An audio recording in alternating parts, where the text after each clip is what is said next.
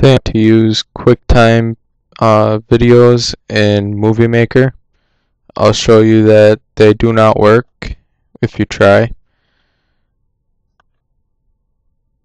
Um, it says it cannot be imported because the codec required to play the file is not installed on your computer. Okay. So what you do is you download the program. I'll have the link in the description. Any video converter. And then you can drag the video in or add it to, with that button right there. And then change the format, the output, to this right here. This is the one I find works the best and I use. I've then you click convert.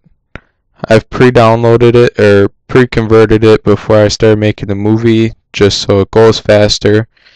And here it is, as you can see, it is not a QuickTime video anymore, and it will work in Movie Maker. I will show it to you so you know I'm not lying to you.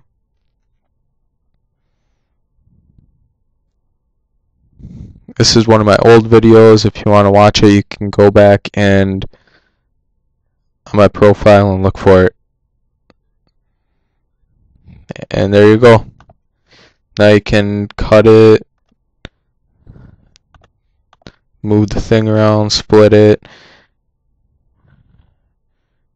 cut, make it shorter, change things, do whatever you want. Um, comment, rate, and subscribe.